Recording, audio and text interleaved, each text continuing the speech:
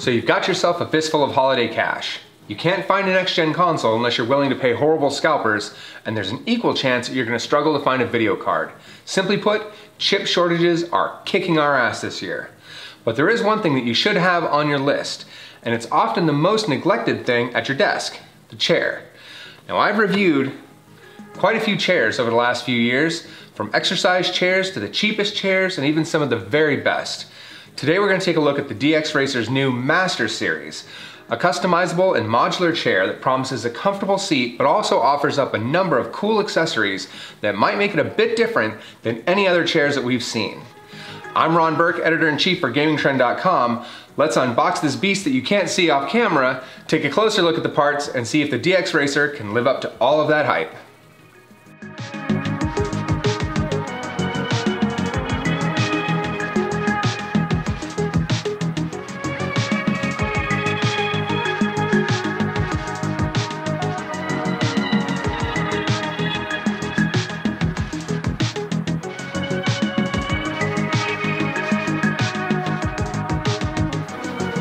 We go, all unpacked. So we went with the black chairs, it goes with everything, but there's also maroon and brown. The maroon's pretty sweet, I'm not gonna lie. But, like I said, black goes with everything.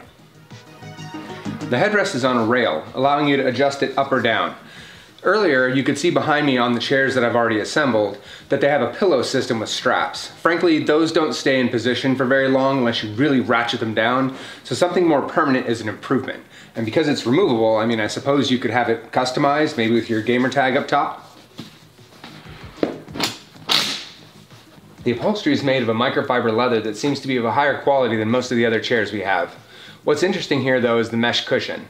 A lot of chairs go to a solid piece of PU leather or they just punch tiny holes in that same leather for the chair to breathe. Here we have a mesh cushion that's replaceable. I've not seen that in any other chair, even chairs that cost over a $1,000, so that's a huge improvement. Now this particular configuration is capable of supporting up to 275 pounds, and it's suitable for anyone even as tall as 6 foot 2. Now simply don't buy the biggest chair you can find, that'd be a mistake. Instead, buy a chair that fits your body shape and size. You'll appreciate the chair that fits you and you won't create problems with your legs as they can't reach the floor comfortably when you're sitting in the chair. This knob here is for lumbar support. Now by turning this knob, it pushes a small lever forward just like that.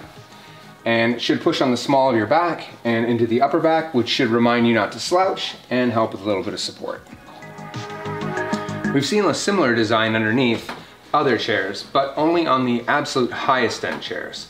Thankfully, they went with four bolts for these instead of two. Some chairs that we've checked out recently have only used two, and within just a few weeks, those arms are all over the place.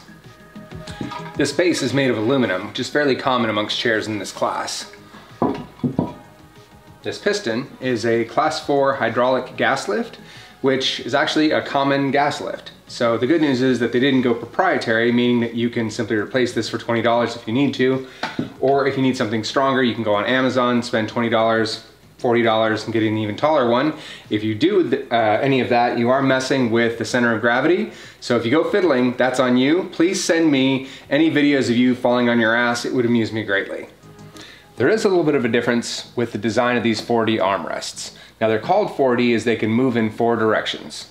They can go up, down, left, and right. Sorry, they don't transcend time and space. Anyway, so these buttons on the side here don't stick out like they do on every other chair that we've reviewed. They are recessed, ensuring that you don't rub against them or in some way catch them when you stand up. So let's take a moment and talk about accessories.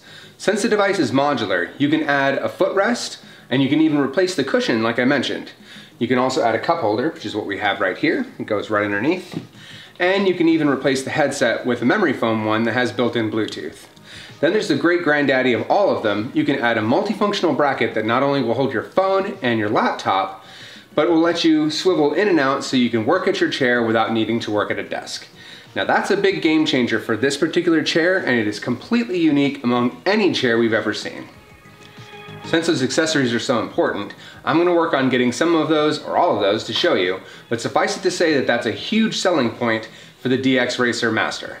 That said, there is one issue with it. there's no mousing surface. So you're gonna have to use that nub on your IBM ThinkPad or it's time to get a touch screen or a laptop with a good touchpad on it. I do have to point out, as I have with pretty much every chair that I reviewed, that these caster wheels, while heavily reinforced, probably will hold a heavier dude, are terrible on carpet.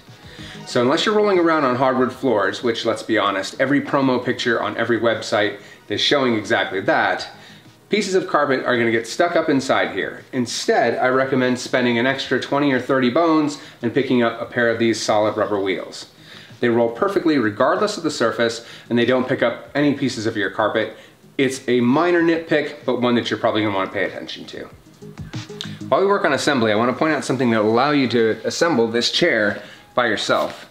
This steel bracket here has a stop at the top, so when you slide it over this lever arm, it'll stay in place allowing you to throw the bolts in.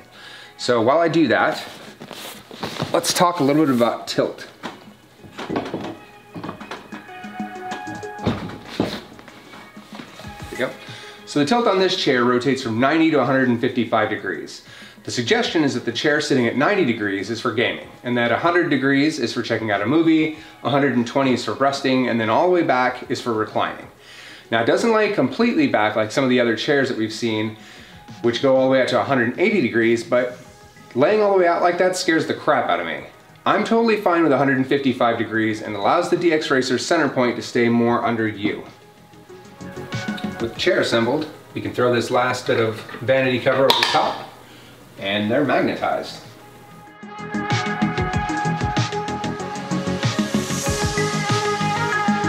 Well, after a couple of weeks of use, there you have it. DXRacers not only delivered a chair that is completely different than any other reference design, but one that's comfortable, modular, and customizable.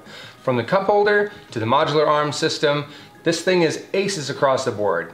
If you're in the market for a more comfortable gaming experience or you find yourself mixing work and game time, there's not a better chair in this class than the DX Master. I highly recommend it. I'm Ron Burke, editor-in-chief for GamingTrend.com saying stay safe out there and we'll see you again very soon.